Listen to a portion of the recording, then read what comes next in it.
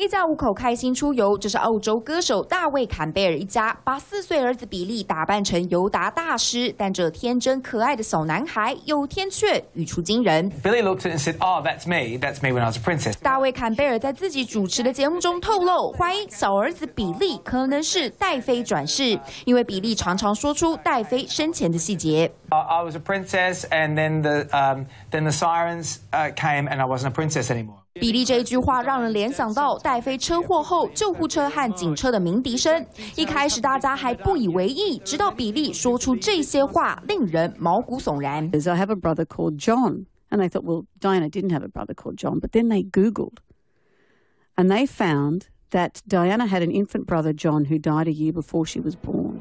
对戴妃生前的细节了若指掌，比利不但可以清楚描绘出戴安娜王妃生前最喜欢的苏格兰独角兽城堡，还常常提到我有两个男孩，让人猜想可能就是威廉和哈利王子。Diana's legacy is is possibly.